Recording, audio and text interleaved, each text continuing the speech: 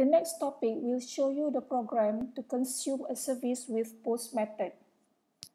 For this lesson, you are advised to refer to the classes as stated on the screen.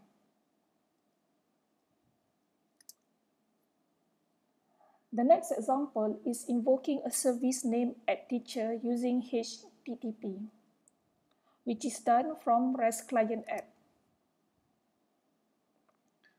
This service is a post method, and we need to send an object of JSON. For example here, we send a new teacher named Gilderoy Lockhart, and the service shall return a teacher's ID to the REST client. When the server receive this when the server receive this when the server receive this request, it will look for the declared mapping. When the server receive this request, when the server receive this request, it will look for the declared mapping in teacher service class and execute add teacher. This method returns a JSON object with a teacher ID. We shall look at the codes in REST client app to add to add a new teacher.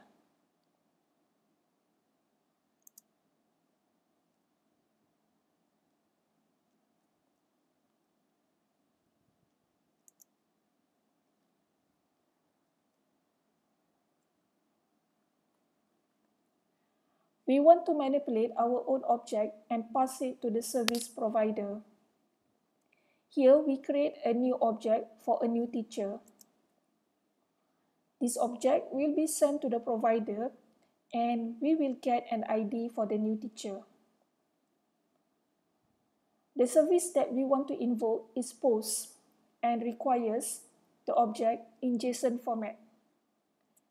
Here, we use an object from Object Mapper to pass our teacher object to JSON format using method name write value as string. This method returns stringified JSON object. Then, we invoke the service using post method.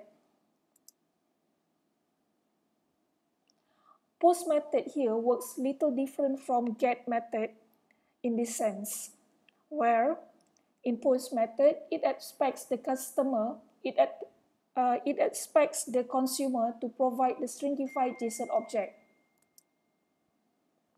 and the type of object.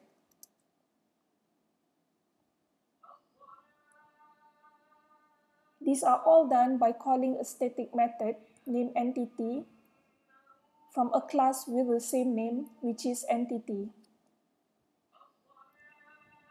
The service provider returns the response to us.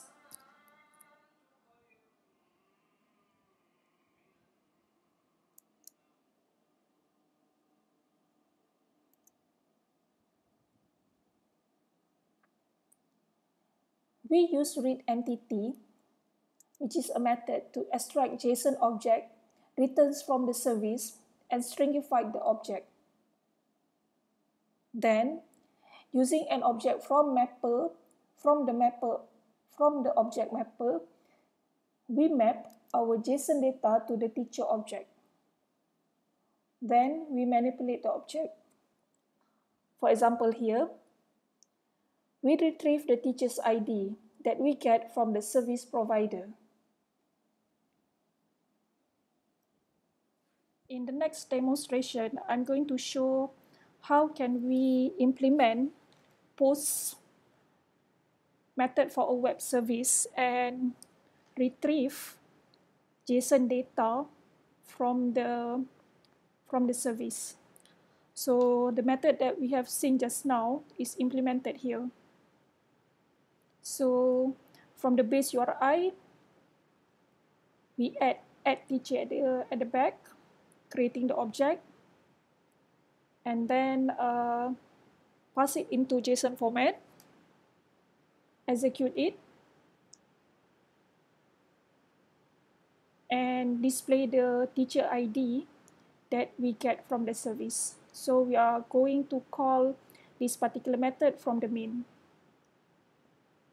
So let's go to main. Uncomment this and use this comment. So when you want to run this application, make sure that the server is running, okay, which is the REST provider here is running. Okay, let's run this application, clear this, and run. So the ID is assigned to this particular new teacher. So this is the ID that we retrieve from the application.